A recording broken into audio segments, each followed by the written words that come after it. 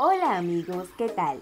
Impresionante, Alianza Lima vendió a Kluivert Aguilar por 2.8 millones de dólares al Manchester City y Jaime Duarte, el brazo derecho de Pep Guardiola, vino a Lima solo para llevarse a Aguilar.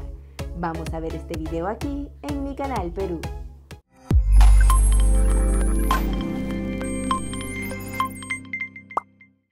Lo que venía siendo un secreto a voces se hizo realidad en la victoria, y es que Alianza Lima cerró negociaciones para el traspaso de Kluivert Aguilar al Manchester City por una cifra realmente récord de clubes peruanos. Recordemos que Kluivert Aguilar llegó a Matute en marzo del 2019, luego de un riguroso seguimiento realizado por Jaime Duarte, quien cumple la función de scouting dentro del club victoriano. Pues bien, luego de informe presentado por Duarte, la gerencia deportiva de la institución victoriana puso todo en marcha para cerrar el acuerdo con el jugador que apenas tenía 15 años. Meses después, apareció el interés de Manchester City y por ello sus ojeadores decidieron venir al Perú para seguirlo de cerca en el Sudamericano Sub-17 y se pusieron en contacto con la gente de Alianza Lima. Diálogos van, diálogos vienen y las negociaciones se cerraron con la gerencia del club íntima tras acordar incluso un seguro para proteger al futbolista cuando siga jugando en Alianza hasta que cumpla la mayoría de edad.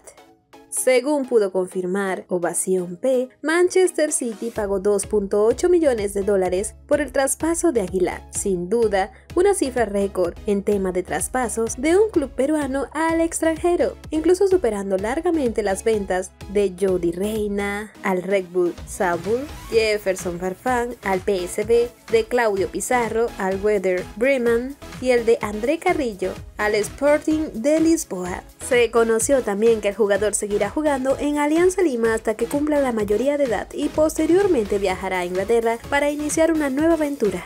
Es bueno puntualizar que además de participar en la Premier League City Football Group, la entidad a través de la cual se articulan las inversiones tiene el control total o parcial de los clubes en Estados Unidos, Japón, Uruguay, España, Australia y China por lo que no se descarta que Kluivert Aguilar juegue por algunos de estos equipos para ir quemando etapas, aunque tampoco es descabellado que desde su primer año juegue en el club inglés.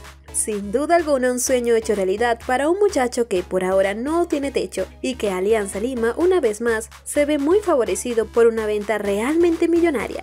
Jaime Duarte, encargado de la captación de menores en la Victoria, reveló detalles de la negociación del nuevo jugador ciudadano. Contó que la mano derecha de Peck vino a llevarse a la nueva promesa del fútbol peruano. El fichaje de Kluivert Aguilar por el Manchester City ratifica el buen trabajo de la captación que hace el club Alianza Lima. Yo como jefe de captación de menores de Alianza no lo veo de esa manera.